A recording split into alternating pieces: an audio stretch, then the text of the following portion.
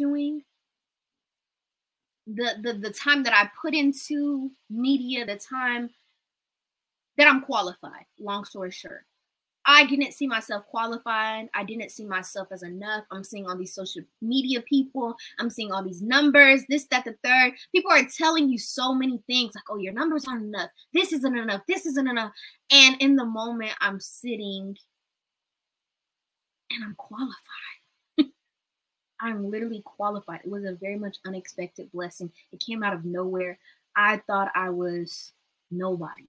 I thought nobody seen me, nobody cared, nobody wanted to be around me, but I was qualified for the moment that I was in.